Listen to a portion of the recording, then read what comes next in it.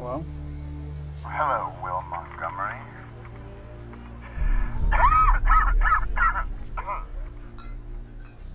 Who is this? Now, you don't recognize my voice, Gum? Ah, I wanted to be there for you at the prison. Vincent? You get welcome when you got out, but you know how it is. Time just slipped away. Well, hallelujah, man. You're alive. Shit, you know what? Everybody's telling me you're dead. Uh, I suppose that depends on your interpretation of the word dead. But I'm certainly not living. Well, where are you? Can we meet? How are you? The years you've been gone have not been kind to me, Gum. Constantly running from loan sharks. the feds, broker than a dead dick dog. I couldn't get another swipe. I am sorry to hear hear about that. You listen to me, Gum. I have waited eight years for this.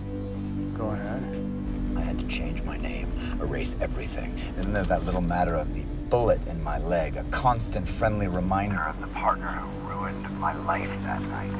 Come on, man. Really? We're gonna go back there? You did that to yourself. Semantics. I want my share. I want my share. Look, $10 million that was going to change our lives forever. Benny, there is no cash. I had a feeling you'd say that, Gum. I burned it just before Harlan got to me. No. Stop it. It's true.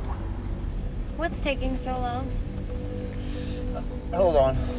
Wait a minute. Who, who, who? That voice. Who was that? Oh, that's right, you don't know. I'm a cab driver now. My fare is this sweet little girl trying to get to her shrink's office so she can discuss her daddy issues and how they have manifested into an unhealthy disdain for the world at large. Hey, what are you doing? Hold on, please, Gum. Sorry, miss. Terrible Fat Tuesday traffic. Be there in a jiffy.